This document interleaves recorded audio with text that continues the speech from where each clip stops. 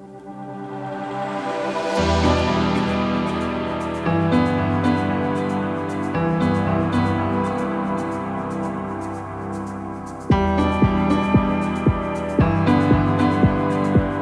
semana donde nosotros vamos a darle todo lo que tenemos. No tengan eh, ningún tipo de vergüenza, pregunten todo lo que tengan, que a lo mejor tu pregunta sirve para la otra persona. Sin importar lo básica o lo tonta que piensen que sea, que al final la única pregunta tonta es la que no se hace. Así que hoy vamos a tener una dinámica de hacer trading en vivo. Muchas cosas no las van a entender por obvias razones, porque apenas están empezando. Lo, que simplemente queremos demostrar para aquellos que, que están empezando es que, bueno, es una experiencia muy interesante y el reto es que el viernes ya puedan definitivamente entender lo que hacemos completamente. ¿Ok? Así que, bueno, disfruten la dinámica.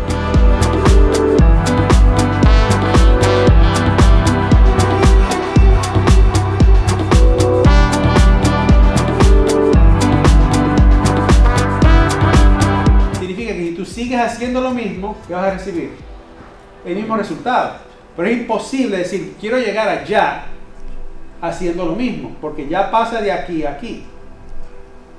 Una persona que sigue haciendo lo mismo siempre, siempre, siempre, siempre, buscando un resultado diferente, ya está, pasó, se pasó, ¿entiendes? Esto es internacional, ¿verdad? ¿Entiendes lo que significa esto? Le falta un sándwich para el picnic. ¿Entendemos? En el trading no es lo que hacemos o lo que sabemos, es cómo utilizamos, cómo utilizamos.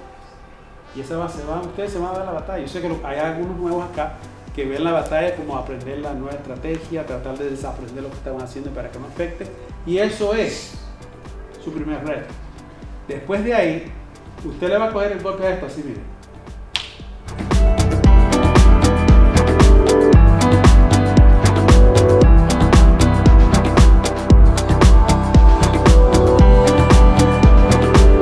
Bienvenidos a la mesa de dinero de hoy, 23 de mayo del año 2022. Día interesante.